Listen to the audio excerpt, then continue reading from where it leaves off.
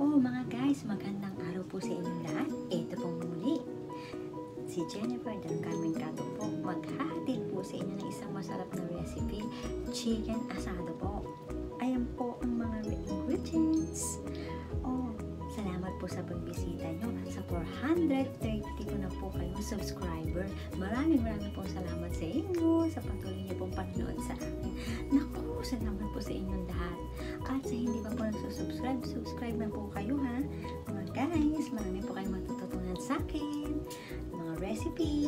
Oh, hugas na po ng kami mga guys. Kailangan po bago magluto, always clean ang mga hands at ang mga recipe, mga ingredients. Kailangan, ito po yung manok natin. Oh, hugas na po yan ha. Kaya po nakaganyan kasi hinugasan na po. Lahat po ng recipe kailangan malinis.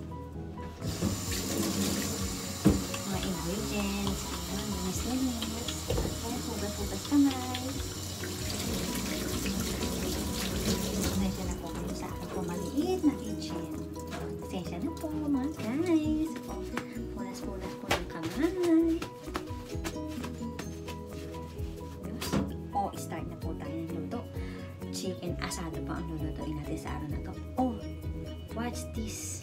Okay mga guys.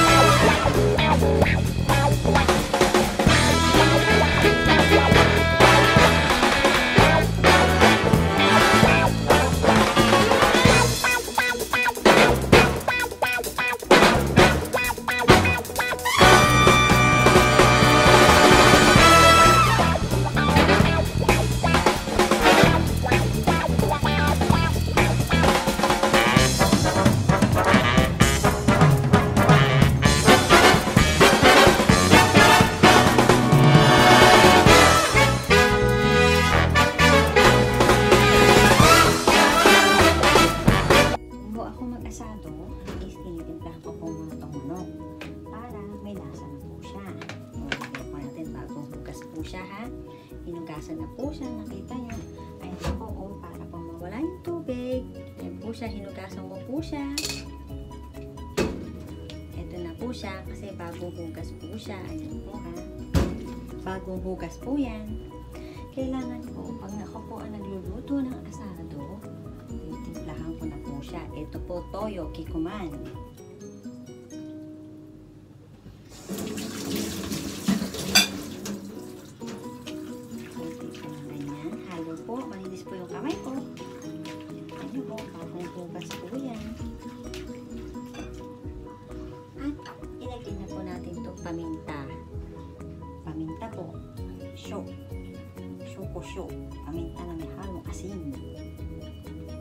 Show ko show. Show ko show.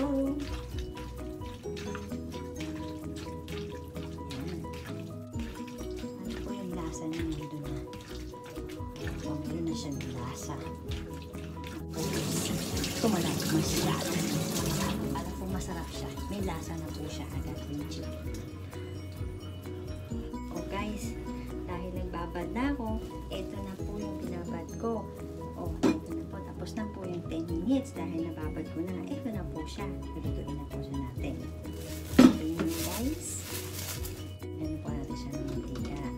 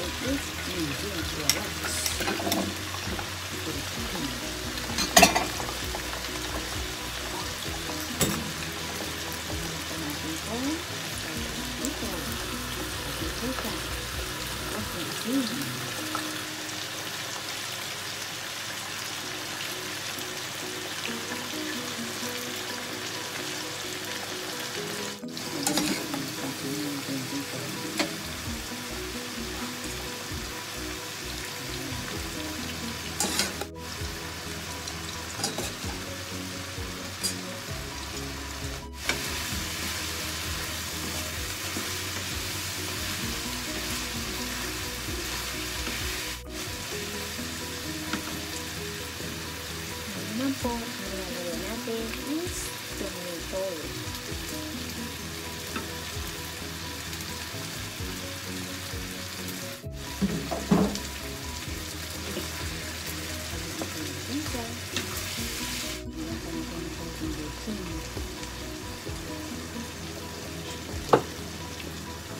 Then, naman ang 115 tubig. 150 po.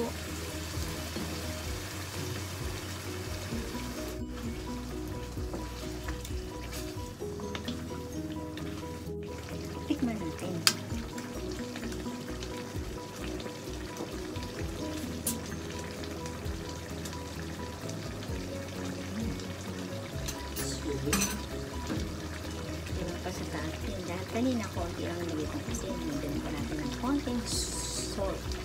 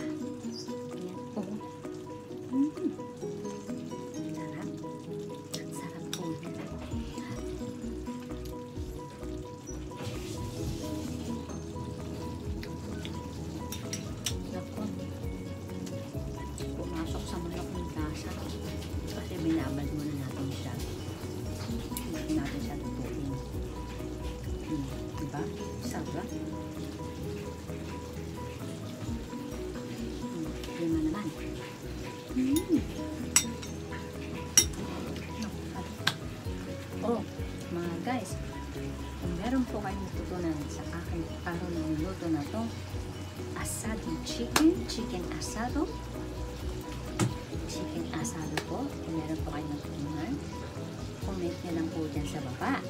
Comment nyo lang po dyan sa baba kung meron po kayong natutunan sa aking pagluluto sa araw na to. Kung meron po kayong natutunan technique. O mga guys, maraming maraming po salamat sa pagbisita. Comment nyo lang po dyan sa baba yung mga gusto po yung may natutunan po kayo or kung may advice po kayo sa ginawa ko po ngayong lutong araw na to, sa pagluluto ko po sa araw na to. I-advise nyo lang po dyan. Comment nyo lang po dyan sa baba. At po ako surprise sa inyo susunod vlog ko. Dahil, kasi po minsan, eh, para po, basta po, susunod na vlog ko may surprise ako sa inyo. Panoorin niyo po yung susunod kong vlog. Meron po ako may surprise pa ako sa inyo. Sa inyo po lahat na manonood. Okay mga guys, maraming maraming po salamat. At sa 430 ko po, 34 na subscriber. Maraming maraming po salamat sa inyo. Sa inyo po lahat. Thank you, thank you, thank you. At sa mga hindi pa po nakasubscribe dyan, subscribe na po kayo. Pindutin niyo po yung subscribe. Tapos, sa subscribe po, meron po sa taas ng bell. Pag pinindot niyo po yung bell, meron po na lalabas ng all. Yung all po ang pindutin niyo. Para po, pag pinindot niyo yung all, ay meron po kayo mga bago pong luto. Meron po kayo notification agad. Malalaman niyo po ano yun kasi po lalabas po sa inyong notification. O mga guys, maraming maraming pong salamat sa panonood nyo at sa muli pong pagbisita nyo sa akin. Maraming maraming pong salamat sa pagbisita. O, maraming maraming pong salamat. Wala na po ako ibang mga maraming maraming puro maraming maraming pong salamat sa inyo dahil po nandyan kayo at ako po ay magsisipag magluto lalo ng mga aking recipe at mga techniques ko sa pagluluto. Alam niyo po ba kung bakit ko muna pinilito po yung patatas? Kasi po, para hindi po siya madurog. Pag po nilagay natin yung patatas na hindi po pinilito, pag ginanon po natin dito, yung para po siyang kumakata, yung parang malambot. Pag pinilito po yung patatas, hindi po siya yung sumasama po sa ika na parang salsa. Ganun po yun. Kaya ko po pinilito yung patatas, saka po yung carrots. O, yun po yung technique. Kaya ko po pinirito. Mga guys, para hindi po siya mag, ano, yung sauce niya, sumama yung patatas agad. Dahil, pag hindi po pinirito yung patatas, di ba po habang kumukulo, lumiliit po yung patatas. Iyon po yung technique para hindi po siya lumiit agad at hindi po parang madulog agad yung patatas. O hindi pa po ganit ha, nagsasuggest lang po, tinuturo ko lang po yung technique ko sa inyo. O mga guys, maraming maraming salamat po sa Panginoon. Oh, don't forget to like, subscribe, and hit the bell for the notification. Oh mga guys, thank you, thank you. Thumbs up niyo naman po ako dyan kung nagustuhan niyo po yung aking vlog, yung aking pagluluto sa araw na to. Konting thumbs up naman po. Pindutin niyo na po yung thumbs up dyan, mga guys. Thumbs up po at subscribe na po kayo sa mga hindi pa po nagsusubscribe sa akin. At nang maroon, marami po ako isa-share sa inyong technique sa pagluluto. O mga guys, salamat po. Bye-bye! See you next time! Huwag po kayo mag-alala. Sa susunod ko pong vlog, meron po akong surprise sa inyo. Panoorin niyo po. Bye-bye! Take care. God bless. Ingat po tayong lahat.